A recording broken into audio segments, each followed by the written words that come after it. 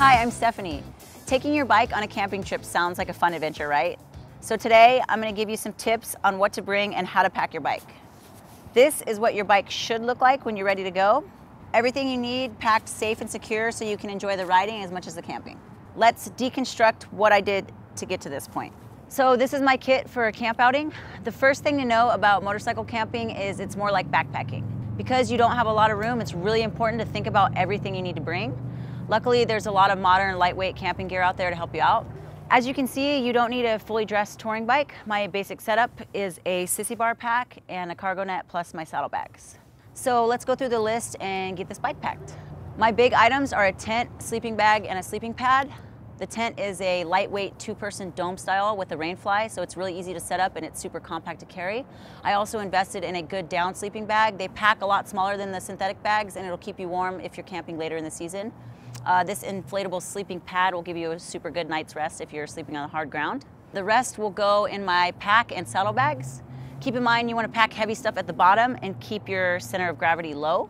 Always make sure to keep your bike balanced side to side, so make sure you don't exceed the luggage capacities on any side of the bag or the racks.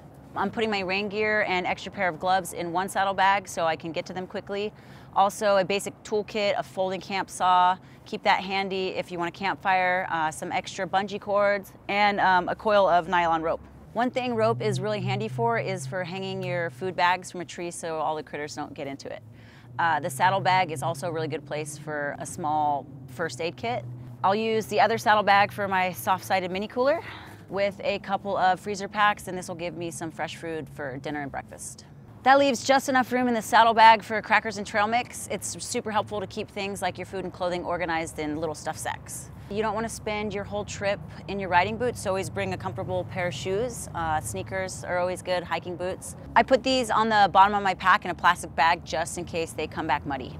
Next, a small backpacking cook kit with a cup, plate, and camp silverware. I also added some stirring spoons and a spatula. Next come a couple tiny nice to haves, um, a little backpack stove and a camping style French press. You can picture yourself in the morning drinking a cup of coffee in the fresh morning air.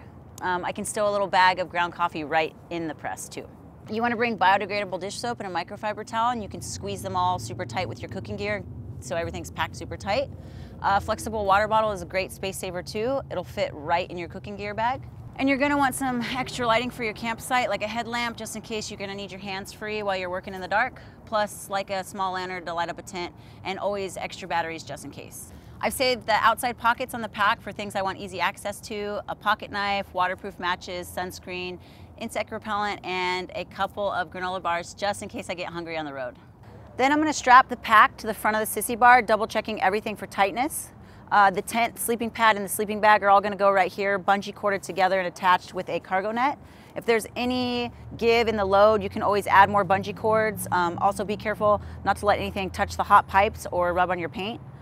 Uh, safety tip, you're gonna wanna double check anything for loose ends that might get drawn into the final drive or the back wheel. You don't want a loose strap or a loose bedroll locking up your back wheel, especially when you're at speed. Uh, finally, I'm gonna bring my full face helmet just in case I need extra protection from the elements while I'm on the road. So we're all packed up and we're ready to go. So enjoy the ride and enjoy the camping.